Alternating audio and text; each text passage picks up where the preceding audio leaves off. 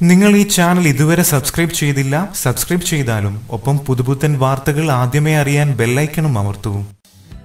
കേരളത്തിലും വിദേശത്തുമായി ഇപ്പോൾ ചിത്രീകരണം നടക്കുന്നത് മുപ്പതോളം മലയാള സിനിമകളാണ്. ഇതിൽ ഇരുപത്തിയഞ്ചും പുതുമുഖ ചിത്രങ്ങൾ. കേരളത്തിലെ രണ്ടു ജില്ലകളിലൊഴികെ എല്ലായിടത്തും സിനിമാ ചിത്രീകരണം നടന്നുകൊണ്ടിരിക്കുകയാണ്. രണ്ടു കോടിയെ താഴെ ചിലവിട്ട് ആറ് കോടിയോളം ലാഭം നേടിയ ലിജോ ജോസ് പെല്ലിശ്ശേരിയുടെ അങ്കമാലി ഡയറീസ് ആണ് പുതുമുഖ സിനിമകൾക്ക് പ്രചോദനമാകുന്നത്. താരങ്ങളുടെ സാന്നിധ്യമില്ലെങ്കിലും നല്ല സിനിമയാണെങ്കിൽ കാണാൻ പ്രേക്ഷകരെത്തുമെന്നും അങ്കമാലി ഡയറീസിനെ പിൻപറ്റി പുതിയ ചിത്രങ്ങളുടെ പൂക്കാലം പിറക്കാൻ കാരണം. കാസർഗോഡ് മുതൽ സ്കോട്ട്ലാൻഡ് വരെ മലയാള സിനിമയുടെ ചിത്രീകരണം നടക്കുകയാണ്. മലയാള സിനിമയുടെ വിജയത്തിന്റെ തോതു എട്ട് ശതമാനത്തിൽ നിന്ന് പതിനാല് ശതമാനമായി വർദ്ധിച്ചതാണ് ചിത്രങ്ങളുടെ എണ്ണം കൂടാൻ കാരണമെന്നാണ് ഫെഫ്കെ ജനറൽ സെക്രട്ടറിയും സംവിധായകനുമായ ബി ഉണ്ണികൃഷ്ണൻ പറയുന്നത്. വിജയ ചിത്രങ്ങളുടെ വർധന നിർമ്മാതാക്കളെ സ്വാധീനിക്കുന്ന ഘടകമാണ്. മലയാള സിനിമയിലെ മറ്റൊരു മഞ്ഞിൽ വിരിഞ്ഞ പൂവാണ് അങ്കമാലി ഡയറീസ് എന്ന അഭിപ്രായമാണ് നിർമ്മാതാവ് ജീവൻ നാസറിന്. അത് മലയാള സിനിമയുടെ ചരിത്രത്തിന്റെ ഭാഗമായി നിൽക്കും. അതുകൊണ്ട് വാളെടുത്തവനെല്ലാം വെളിച്ചപ്പാടാകാൻ ശ്രമിക്കരുതെന്നും നീലക്കുറിഞ്ഞി എന്നും പൂക്കുമെന്ന്